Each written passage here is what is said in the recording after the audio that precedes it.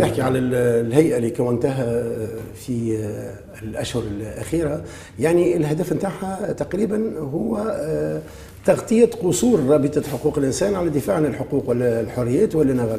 يعني أنتم لاحظتوا قصور الرابطة في الدفاع عن الحقوق والحريات والنهوض بدورها التاريخي وأنتم كنتوا عضو في الرابطة التونسية للدفاع عن حقوق الإنسان عن دورها وبالتالي أنتم استنهضتم أنفسكم وأسستم هذه الجمعية لتغطية هذا الدور الناقص في البلاد.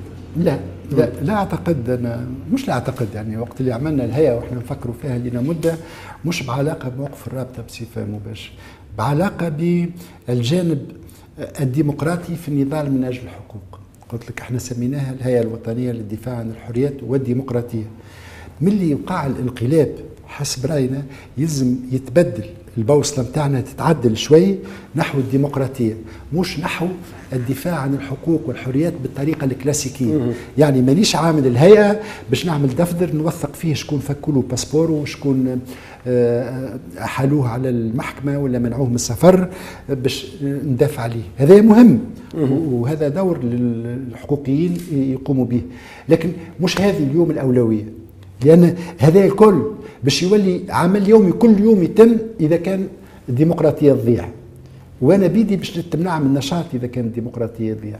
دونك قلنا نشوفوا منظمة اللي تركز على الديمقراطية من خلال مقاربة حقوقية. المقاربة نتاعنا حقوقية ولكن نعتبروا أن الدولة الديمقراطية هي اللي تنمو فيها وتتفتح الحقوق وتحترم الحقوق والحريات.